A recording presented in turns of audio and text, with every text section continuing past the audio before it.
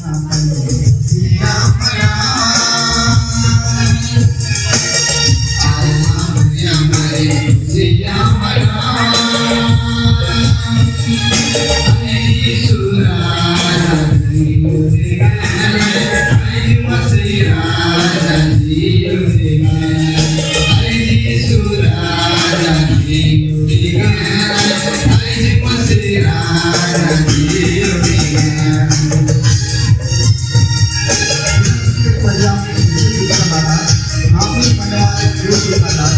nó cũng manh hoa để làm hư mà